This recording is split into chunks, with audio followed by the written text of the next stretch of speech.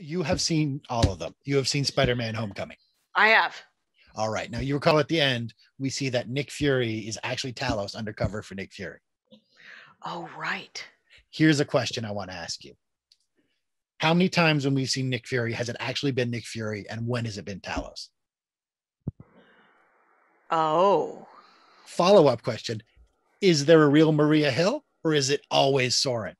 Because we know there's a real Nick Fury because, you know, Yeah. he's the guy who met Talos and Captain Marvel. Let's Yeah. assume, like, like, you know, in Iron Man and the and maybe all the phase one stuff, that's Nick Fury, Nick Fury.